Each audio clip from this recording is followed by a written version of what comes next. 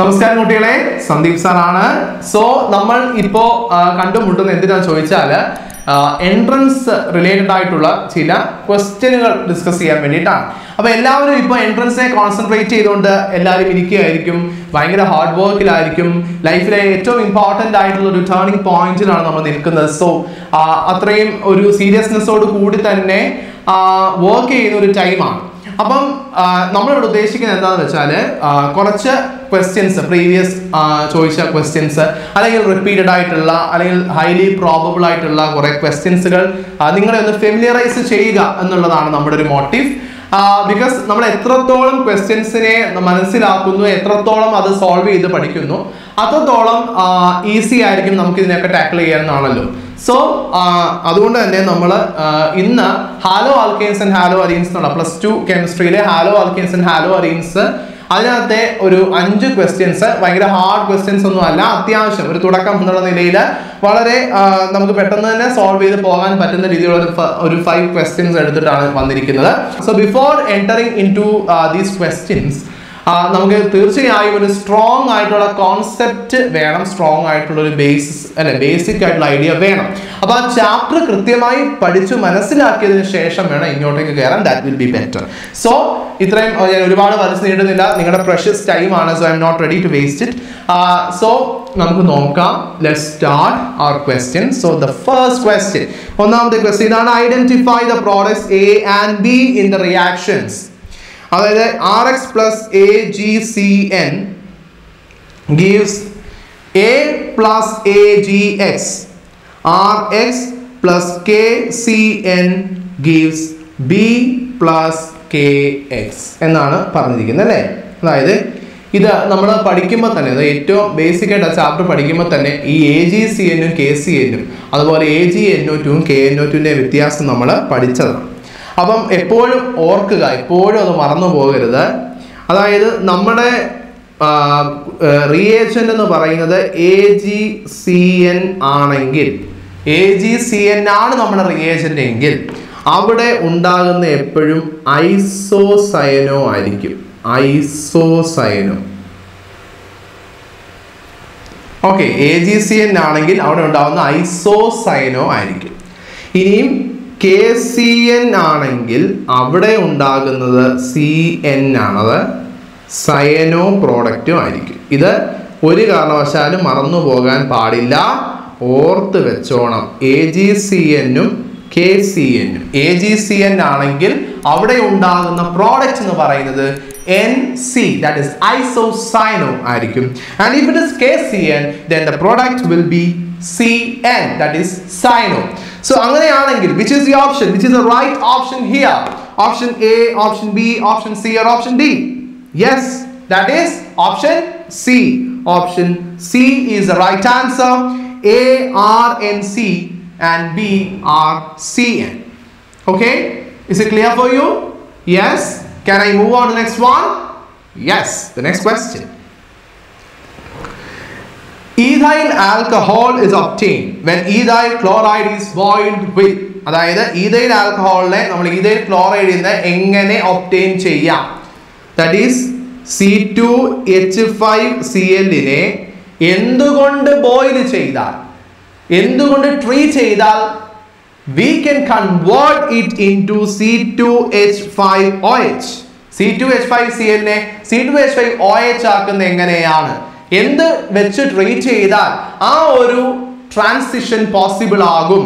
Okay that is ethyl chloride converted to ethyl alcohol അപ്പൊ ഇവിടുത്തെ reagent ഏതാണ്? So always remember when you want to convert നിങ്ങൾക്ക് ഈ ആലോ ആൽക്കെയിൻ ഹാലോ ആൽക്കെയിനെ ഒരു ആൽക്കഹോൾ ആക്കി കൺവേർട്ട് ചെയ്യണമെന്നുണ്ടെങ്കിൽ അവിടെ ഉപയോഗിക്കുന്ന reaction is always aqueous K O H option B aqueous K O H alcoholic K O H അല്ല ആൽക്കഹോളിക് കെ ഒ എച്ച് എന്ന് പറയുന്നത് എപ്പോഴും it is associated with the dehydrohalogenation reaction and here when alcohol is being formed or alcohol is being formed from an alkyl halide it should have been treated with aqueous KOH aqueous potassium hydroxide is the correct answer option B is the right answer so അത് മറക്കാനേ പാടില്ല കേട്ടോ hello alkane to alcohol always remember it is aqueous potassium hydroxide okay so yes okay clear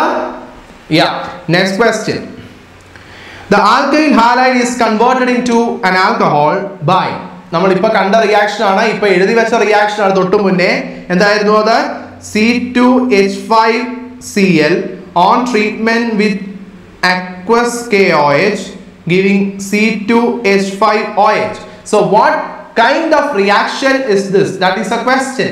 ഏത് kind of reaction ആണ് ഇവിടെ നമ്മുടെ റിയാക്ടന്റിന്റെ കേസിൽ അത് എന്താ ഇവിടെ സി എൽ ആയിരുന്നു ആ സി എൽ മാറി ഇവിടെ വന്നപ്പോൾ ഒ എച്ച് ആയി അതായത് ഒരാളെ റീപ്ലേസ് ചെയ്തുകൊണ്ട് മറ്റൊരാൾ വന്നു that is purely what kind of reaction yes one ആലൈ group gets substituted by a hydroxyl group it involves substitution അപ്പൊ അത് ഏത് റിയാക്ഷൻ ആണ് yes come on quick yes it is substitution reaction option D is the right answer substitution reaction clear clear can i move on to the next one yes we don't have time to waste we can move Yes, the question is in SN2 reactions, the sequence of bond breaking and bond formation is as follows. Option A, bond breaking is followed by formation. Option B, bond formation is followed by breaking. Option C, bond breaking and formation occur simultaneously. Option D bond breaking and formation takes place randomly S N വണ്ണും S N ടുവും പഠിക്കുമ്പോൾ തന്നെ പറയുന്ന ഒരു കാര്യമാണ്. S N two reaction that takes place in a single step and that single step involves the bond making and bond breakage and both of the process takes place simultaneously വളരെ എന്ന് വെച്ചാൽ ഒരേ സമയത്ത് ബോണ്ട് ബ്രേക്ക് ചെയ്യുന്ന അതേപോലെ തന്നെ ഇപ്പുറത്ത് bond make ചെയ്യുകയുമാണ്. അത് ഒരേപോലെയാണ് നടക്കുന്നത്. We have already already been discussed about it and therefore the right answer will be option C bond breaking and formation occur simultaneously. Option C is the right answer. അവിടെ bond ഫോർമേഷനും bond ബ്രേക്കിങ്ങും നടക്കുന്നത് simultaneous ആയിട്ടായിരിക്കും in case of S N two but S N വണ്ണിന്റെ കേസിൽ അങ്ങനെ അല്ലായിരുന്നു അവിടെ രണ്ട് സ്റ്റെപ്സിലാണ് the first step is the formation of carbo carbocation and the second step is the addition of nucleo nucleophile so S N one and S N two is very important കേട്ടോ. അത് കൃത്യമായി അതിന്റെ രണ്ട് ഒരു എന്ത് കമ്പയർ ചെയ്ത് പഠിക്കാൻ ശ്രമിക്കുക. രണ്ട് കോളത്തിലാക്കിക്കൊണ്ട് അതിന്റെ ഫീച്ചേഴ്സിനെ കമ്പയർ ചെയ്തുകൊണ്ട് തന്നെ പഠിക്കാൻ ആ, നോക്കുക because lot and lot of questions can come from the area so it's very important so be careful okay and the la- and today we are uh, going to end uh, by this question the last one tertiary alkyl halides are practically inert to substitution by SN2 mechanism because